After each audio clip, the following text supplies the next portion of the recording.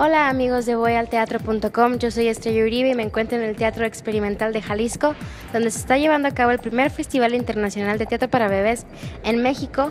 Y el día de hoy nos tocó ver la obra Contemplar que nos visita de Tijuana, de Teatro en Espiral, y me encuentro platicando con el equipo, con Michelle Guerra, la directora, Azalia López Insunza, la bailarina de la obra, y Vania Cárdenas, escenógrafa. Hola chicas, ¿cómo están? Muchas gracias por platicar con nosotros. Hola, ¿qué tal? Muchas gracias. Hola, hola. Hola, hola. Y díganme, ¿qué es lo que vemos en escena en Contemplar? Eh, bueno, creo que para responder lo que se ve, la más indicada para inicio es Vania, puesto que ella es la que construye toda la escenografía y es la primera impresión.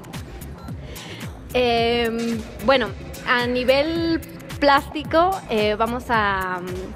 Vamos a encontrar un jardín, es un espacio em, dentro del teatro que em, simula un jardín. Hay mm, un piso de piedra, eh, hay pasto, tenemos agua, tenemos este, piedras, obviamente todo construido pues a manera teatral, eh, organizando el espacio para el juego, para, mm, para la interpretación escénica. Y es un espacio eh, lúdico donde los bebés eh, pueden reconocer cosas de su entorno y pueden este, al final del, de la obra pasar, eh, sentir diferentes texturas, jugar con los elementos que, encuentran en el espacio y explorarlo por sí mismos. Y en cuestión de lo que pasa, pues es principalmente generar situaciones en, el entorno de un jardín en el que yo como hacedora o jugadora, jugadora eh, voy recibiendo los estímulos de los diferentes estados del clima o los, los diferentes momentos del clima y buscar generar una relación, un contacto con los bebés a través de todos los elementos. Con, como mencionaba Vania, pues la escenografía es un espacio para habitar y para convivir. Entonces, pues eh, sucede al principio el momento del sol, por ejemplo, entonces es como toda esta sensación de sentir la calidez del día, jugar con unos patos que aparecen por ahí, y después llega el viento, eh, juego con una tela, con unas hojas, al final llueve, eh, llega el agua, llegan los paraguas, entonces es principalmente pasar por los diferentes estados del clima para que las situaciones vayan haciéndonos descubrir la obra. Y Michelle, dinos, ¿cómo fue que concebiste Contemplar y de dónde surgió tu interés por el teatro para bebés? Mm, em, mira, en Baja California hay un festival de teatro para niños y en el 2009 conozco a Teatro Paraíso, que ellos me enseñan algunas obras de teatro para bebés que se hacen en Europa y de ahí comenzó como la curiosidad más que nada de qué está pasando, me pongo a investigar y en la, por parte de la programación los invito a participar en la tercera semana de teatro para niños es donde ya puedo yo ver el espectáculo, ¿no?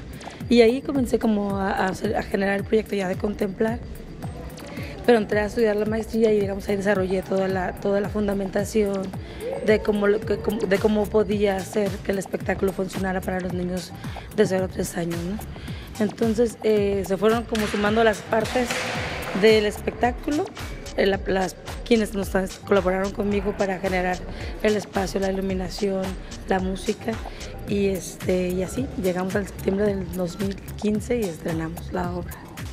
¿Por qué creen que, que es importante que existan espectáculos para este rango de edad? Porque usualmente no es una edad que sea muy tomada en cuenta, tanto en lo cultural como en general en lo social. ¿Por qué les parece importante que se den pues precisamente por eso, porque si, si como sociedad estamos conscientes de que todas las personas necesitamos eh, educación, arte y cultura, pues no debería de haber eh, la exclusión a ninguna edad o de ningún, de ningún tipo de exclusión. Entonces nosotros estamos convencidos de que los bebés son parte de nuestra sociedad, son parte de las personas que están construyendo nuestro futuro también y que como bien se dice eh, y sabemos, el arte y la cultura son indispensables para la formación, una, una formación sensible de las personas.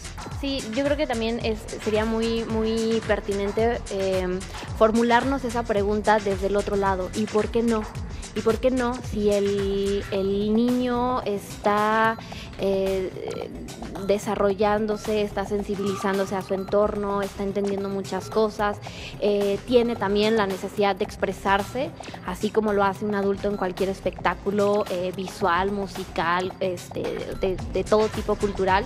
el niño también, este, también manifiesta estas cosas, entonces em, creo que el, el, teatro, el teatro para niños está está permitiéndoles em, expresarse de esa forma en, un espacio que está pensado y diseñado para, para que vivan una experiencia, eh, una experiencia teatral, una experiencia escénica. ¿Y cómo ha sido la experiencia en general del FITPA? Por ejemplo, Michelle, tú diste un taller de proceso de creación escénica para la primera infancia, has estado presente en las demás obras y ahora te tocó presentar la tuya.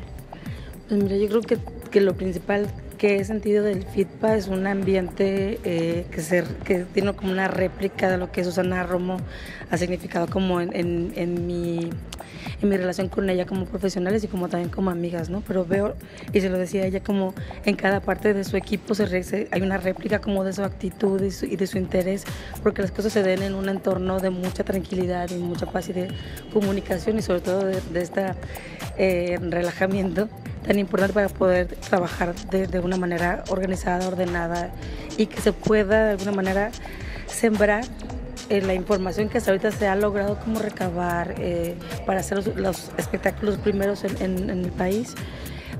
Y entonces yo veo en los chicos que toman el taller este interés que ha generado, como cómo funciona, para qué es, pero creo que ya, ya no nada más es un interés, ya, ya comienzan a haber brotes de otras personas que tienen el interés de hacer un espectáculo para primera infancia y que comiencen como a preguntarse y a interesarse por ser, por, por, por profesionalizarse en el área. Y esto es un, un espacio que les permite a ellos poder hacerlo, porque hay, pues bueno, en las universidades todavía no está, hay algunos que tienen terror para niños como una materia, pero terror para primera infancia es, es, es, algo nuevo y que nosotros que estamos haciendo todavía estamos como una constante investigación y bueno, eso no se termina.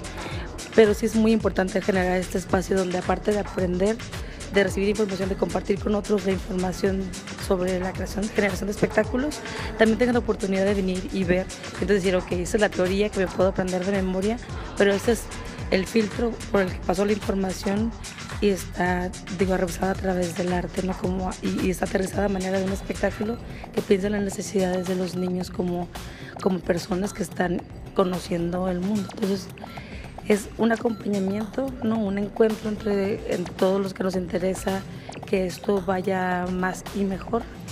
Y es una manera de compartir con toda la, con toda la gente que está interesada, que no conocemos, a la que a lo mejor no tenemos acceso o no podemos invitar, de que se enteren por medio de esta difusión, ¿no? de, concentrada en, un solo, en una sola semana, donde ellos puedan este, pues, alimentar también su, su pasión por esto. Muchísimas gracias chicas, felicidades por su montaje, éxito en todos sus proyectos venideros. Ah, y por cierto, ¿tienen alguna red social en la que los podamos encontrar sus trabajos, seguirlos? Sí, en el Facebook tenemos una página, Teatro en Espiral, o colectivo de Teatro en Espiral, y ahí pueden, se pueden enterar de los próximos proyectos y de las fechas y demás. Muchas gracias chicas y a ustedes muchísimas gracias por escucharnos. Recuerden que pueden consultar la cartelera teatral de Guadalajara a las 24 horas del día en voyalteatro.com. Muchísimas gracias, hasta la próxima.